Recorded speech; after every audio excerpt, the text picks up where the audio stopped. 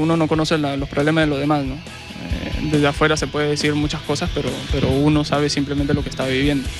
Eh, uno, a, pesar de, todas las cosas que sucedieron, si, en, lo personal seguí creyendo en la dirigencia, seguí creyendo en sus palabras, seguí creyendo en que las cosas iban a mejorar, pero empieza el 2012 y las cosas siguen igual. Así que no, no, veo un, futuro muy bueno.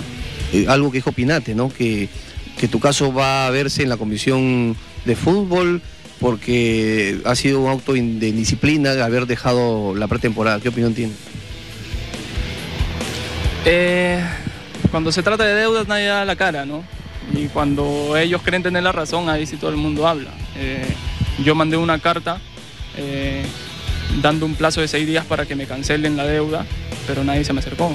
El señor Pinate nunca habló acerca de ese tema, el presidente tampoco, menos Carlos Carpio.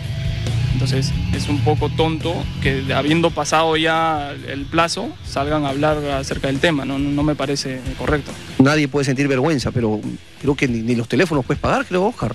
Exactamente, justo me enteré que los periodistas, prensa escrita y, radio se querían comunicar conmigo, pero eh, de repente algunos no me lo van a creer, pero no tengo ni para pagar el, el, el, Nextel o el Claro.